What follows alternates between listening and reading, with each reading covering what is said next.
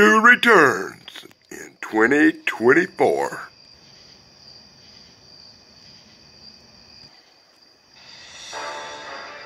So here we are, another day, another haunted mansion.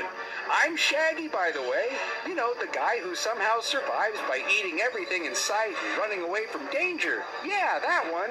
This is Fred, Golden Boy, ascot enthusiast. Probably has a secret Instagram for trap designs.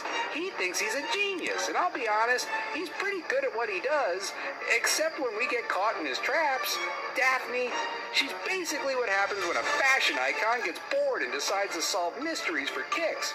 She's either about to kick down a door or casually get us into trouble with her crazy ideas. But hey, she always looks amazing while doing it, so there's that. And Velma, the genius.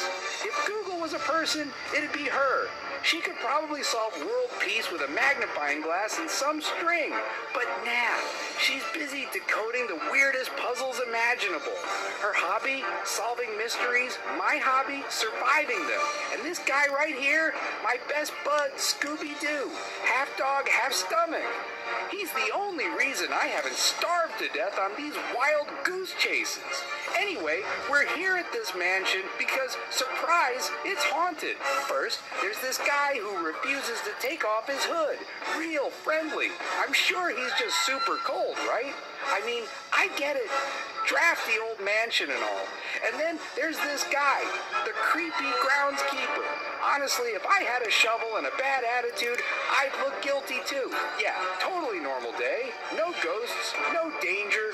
Definitely no one lurking in the shadows waiting to scare the pants off us.